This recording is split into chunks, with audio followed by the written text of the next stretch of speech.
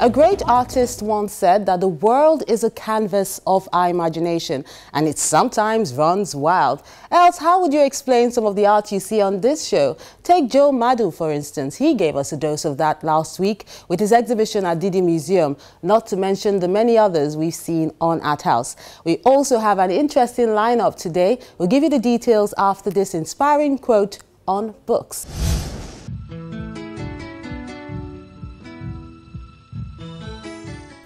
Reading, like writing, is a creative act.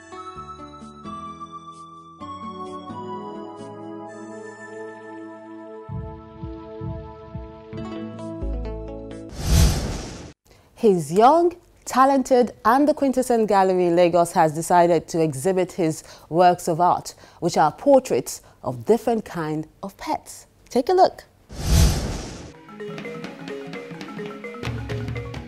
Man's Heritage and Man's Best Friend is the title of Gbadebo Oluwaseyi's first solo exhibition at Quintessence Gallery, Lagos.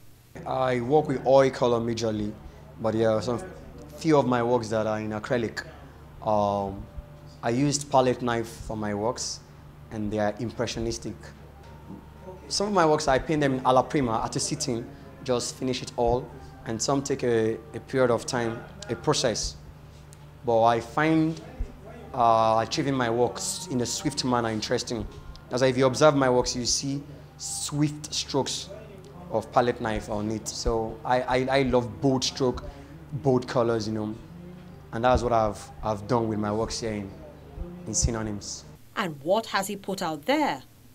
Portraits done with oil on canvas, with the subject making faces. He has titled it appropriately because anyone can tell what each piece is about from looking at them. There are also two issues he's addressing and trying to find the missing link. We see works of art such as Baby's Rage, Daddy's Glasses, I Hear You. That's for the cute and cuddly children. Daniel is one of my students back in, in Benin while I was serving, you know. Uh, I met Daniel and he inspires me as a young child because of his ability to, you know, to always put up a smile on his face no matter what. And right here behind me is uh, I Care and Bidu. I Care, you know, he's talking about the nature of dogs to show their loyalty to man. I read a story about a Japanese dog, you know, who when the owner died, still goes to visit the train station every evening for six years, hoping that one day the owner will come back.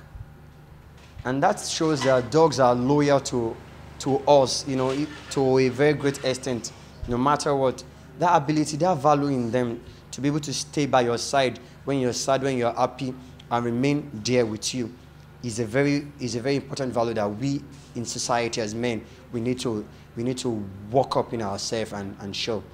For the dogs, like Bruno, Lola, and Rex, their paintings speak louder than words.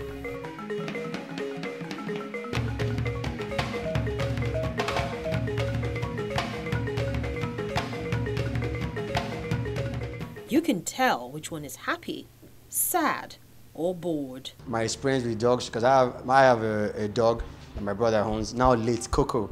You know, Coco goes by my side anytime, anything I do, you know, and she has the ability to read my mood also. This, you know, this inspires me as a person to just see the beauty and joy on their faces, you know, children and dogs. So that's how synonyms came about. Is the emotion the catch? Or is the artist just one who adores children? I'm inspired by children, by faces of children. The joy on their face, the ability for them, you know, to, to make life beautiful their innocence, their beauty, their patience. Yes, you could say they are, they are not self-sufficient. They could be selfish at times, demanding attention and, and the stuff like that. But their life is beautiful. No matter how we are as adults, when we see a child, there's something about them that compels you to just relax when you look into a child's eye because you know that this child has nothing against me. This child is pure. This child puts our trust in me, our life in my hands, you know. You can deceive a child easily. A child trusts you blindly, you know.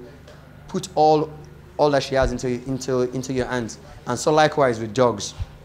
And this inspires me in society, that if we in society can also portray these values, we, if we can learn to trust one another, to love one another, but of course with a, with a measure of caution also.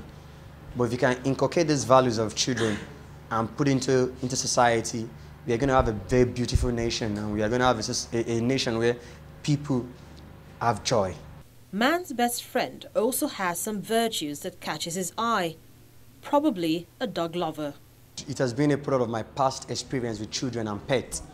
You know, during, because of, uh, I've spent time with children, I've taught in two primary schools, uh, in schools before, uh, before doing this, you know. So children have something about them that is fascinating.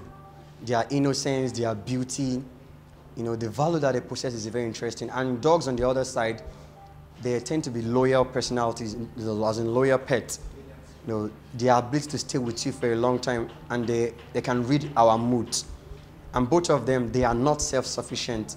They look up to man, you know, to care for them and cater for them. It seems galleries are trying to encourage young hands to get stronger and better by opening their doors for them to exhibit and go solo. His color texture and the way it, it does its work is very, very, very inspirational and very calm. If you look at the paintings, the faces, the way it takes time to make it come to, to, to, to reality, it makes it so interesting.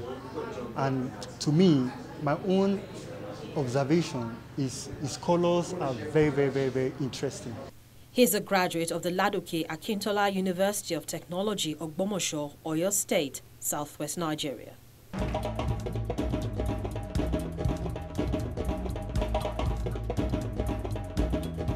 Well, I can't connect the dots between man and man's best friend, but I guess Shay just decided to let his imagination run wild. And this next group of artists have a knack for doing just that. We'll tell you more about them in a moment.